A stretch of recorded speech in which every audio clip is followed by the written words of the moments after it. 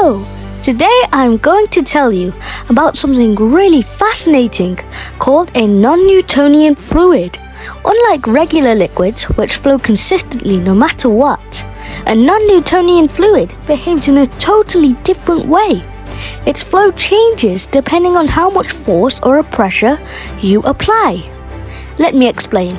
One of the most famous examples is a mixture of cornstarch and water, often called oobleck. When, if you stir it slowly, it behaves like a regular liquid, flowing easily between your fingers.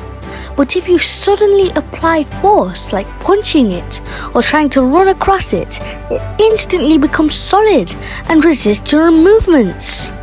It's like the fluid has a mind of its own this strange behavior happens because the particles in the fluid get pushed together under pressure, creating a temporary solid structure.